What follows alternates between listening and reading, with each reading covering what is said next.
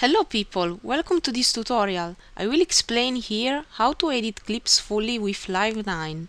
Please, if you find mistakes in pronunciation, leave feedbacks. If you watched the beginner video tutorial, you already have a general overlook about how this software works. Let's now see how to edit clips in full. If you are looking for something in detail, check the quick index of what it's explained in this video to save time. Add a single clip in a cell in the session view or in arrangement view.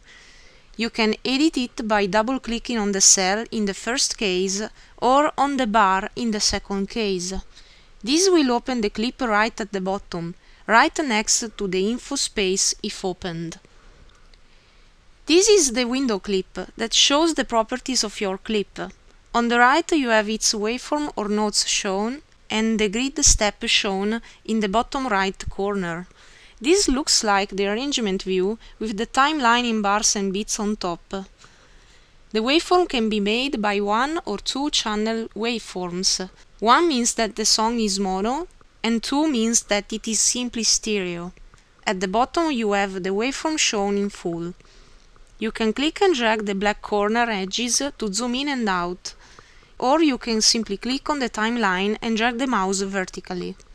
Whereas to move through the waveform you can click and drag the contour or the timeline. Below the timeline you have different zones where you can make actions. Right below the timeline seen before, you have some space dedicated to the loop brace. This is used to loop continuously the part of the clip that is contained inside such region. Edit its length simply dragging its edges and move it by dragging its central part. You can see its effect directly in the track in the arrangement view. If you make such region shorter, the waveform of the clip will change in order to loop such part chosen during the full length of the clip in the track. Below the loop brace you have another space. Click on it to start playing the clip from that point. The loop brace will be active just when the button loop is enabled, so in yellow color. This means that the track is looped and you can stretch the clip associated because repeat it over and over. Notice that the loop button can be enabled just if the warp button is already on as well. When you turn the loop button off, the clip will be unlooped and the loop brace won't count. What counts are the start and the end markers, which are right below the loop brace. These set where the clip has to start and end, and this value just when the loop button is off. As always you can watch the effect of these markers. These modify the start and the end point of the clip. Moreover, you can't stretch the clip over its full length since it is not looped. The last bar is dedicated to warp markers. The warping operation is when you set a different speed to the song clip, slower or faster, like changing for moments its beats per minute.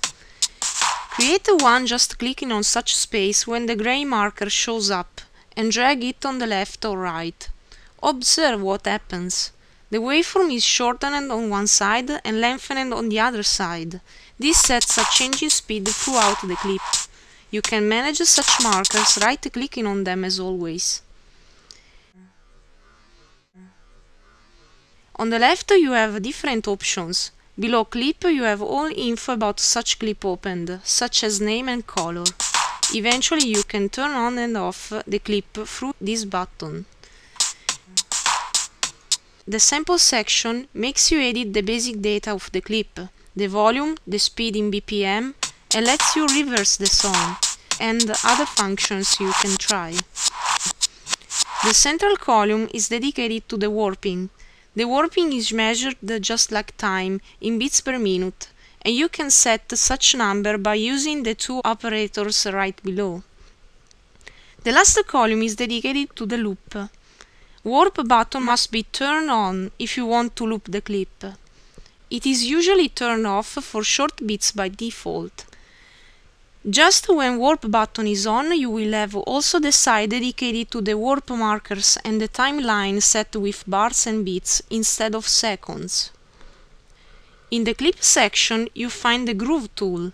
Groove sets a different feeling to your clip, especially in bits. Let's make an example.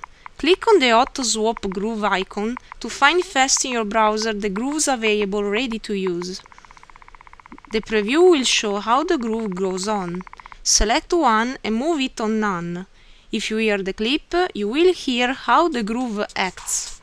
Where the groove shows peaks, the clip is higher in intensity, whereas where the groove is mute, the clip goes regularly. You can enhance the groove effect by clicking on Commit. This simply sets the warping to make the groove more efficient inside the clip. In both audio samples and MIDI files, you have some small circles below the clip column. These are used to show and hide windows. In the sample clips, the central circle stays for the waveform graph, whereas in the MIDI ones you will have a note symbol. In both you will have the circle E, which means envelope. The right side of the graph shows the functions related to the window that has the right black arrow turned on in yellow. Just turn this button on in the window envelope if it's off. The envelope window will let you edit a MIDI or sample clip through its graph, which is a waveform in case of sample clips, or notes for the MIDI ones. Let's pick for instance a sample clip. Click on the second slot to edit volume or other modulations. For instance, click on volume. The graph on the right will show you a red line that you can pull up and down by dragging it. Put such clip in loop played. If you pull such line down, the volume will decrease, and so vice versa on the contrary. This is also called volume modulation. Each time you click on such line, a small point will be added. We can further change such envelope line. Click on the line to add a breakpoint. You need at least two of them to start changing the line in a segment of time. You can move the breakpoint by dragging it and change the value of the line by pulling it up or down. You can move a segment instead, just approach it with the pointer without touching it, and move up and down. Double-click on a breakpoint to delete it. You can personalize even more your line through the Draw mode, the pencil icon in the control bar. Just click and drag the mouse, defining the shape you want most. Change the grid if you want to be more accurate. A new feature of Live 9 is to draw curves on the envelope line. While in draw mode, hold Alt down while drawing to set a continuous line not discrete. You can also set curves on segments long enough. Hold Alt down when approaching a segment to set curves. Double-click to come back to the straight one. When the envelope line has a personalized aspect, a red square will appear next to the parameter interested. You can also put a loop to the envelope. Let's suppose to go and change the volume through the envelope directly linked to your clip graph. From 0% to 100% and again to 0% and so on. You can do it manually like this, but it may take a lot of time. Reset the line by right-clicking and going to Clear Envelope. Now click on Linked to activate the loop section on the right.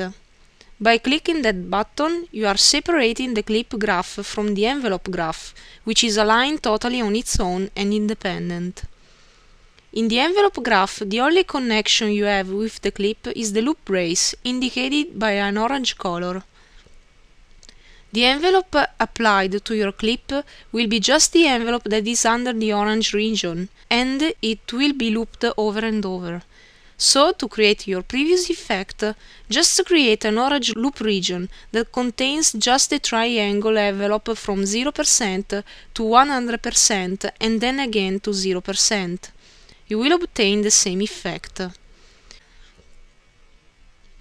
Remember to set the loop button on to have a looped envelope of course. You can edit each clip added also through the options you have on the right. These are used to set and check automations, explained in a further video in this show. Through the first slot you can select which effect to, consider, and the second space the property of what you have right selected. Well, this is all. Thanks for watching.